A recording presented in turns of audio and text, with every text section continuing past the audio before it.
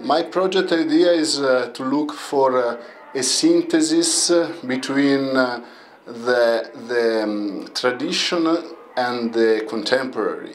So I always uh, uh, look for, especially in restoration, um, the, the, to, to, to, to fuse these two languages together.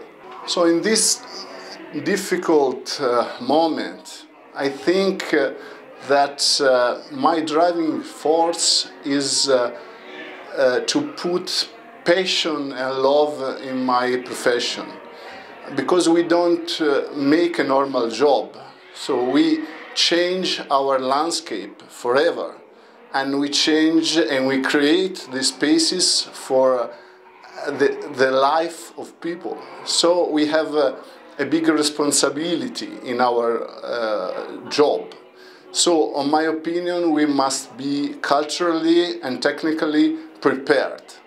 So when I saw the selection of the project uh, of uh, BIG SEE Awards, I was very surprised because uh, not only uh, for the, uh, the quality of the project, but also because uh, a lot of projects have a common inspiration.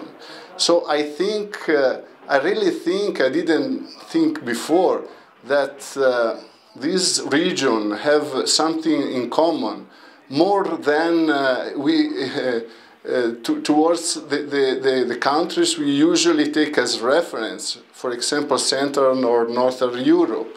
So I, I, I think I, there is um, a, a, vision of this new world and I, intend to explore it with my job uh, these, uh, these new feelings.